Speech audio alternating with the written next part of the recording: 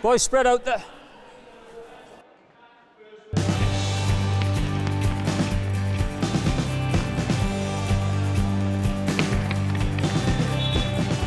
I'm part-time as the international skills coach for the union uh, and then also part of my week is teaching at Ebbville Learning Community. Um,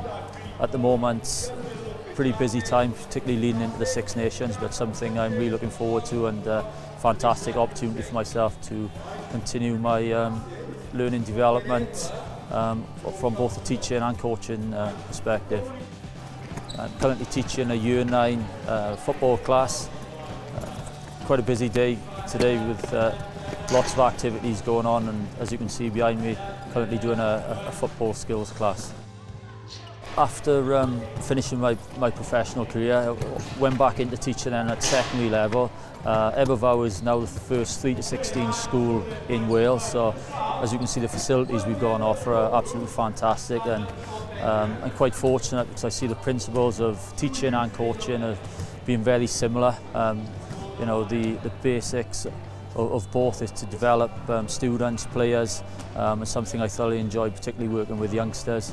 Um, so it's a great challenge, but something I'm really looking forward to over the next um, couple of months. We're absolutely delighted that Jason had this opportunity to work at the highest level and that WRU recognises the skills that he has. For us, it's a tremendous opportunity to gain uh, that expertise and to bring it back for students and we will see the benefit in lessons and with extracurricular rugby that we do here. Incredibly proud of Jason and, and everything that he's doing.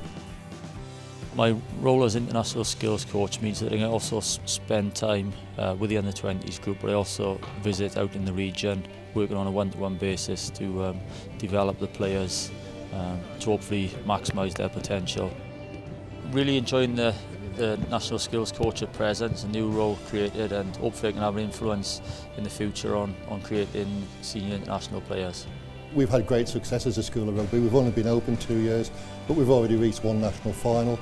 We have very good connections with Ebervale Rugby Club and have players on staff as well, uh, beside Jason coaching. And, and the cooperation that we've had from the club has been first class. It, it's a great opportunity for to work together with the community.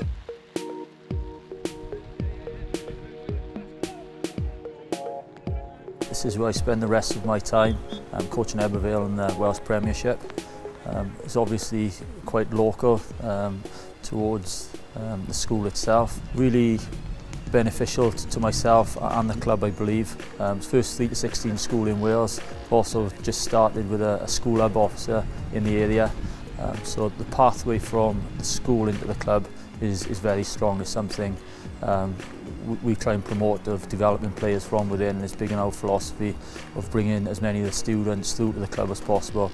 It's something which has worked in our favour over the last five years. Um, you know, keeping players from, from the locality um, and it's something which we are really keen to continue with. Over the past five seasons, everything's gone really well at Ebervale, but um, we're fortunate we've got a, a club which is well run on and off the field.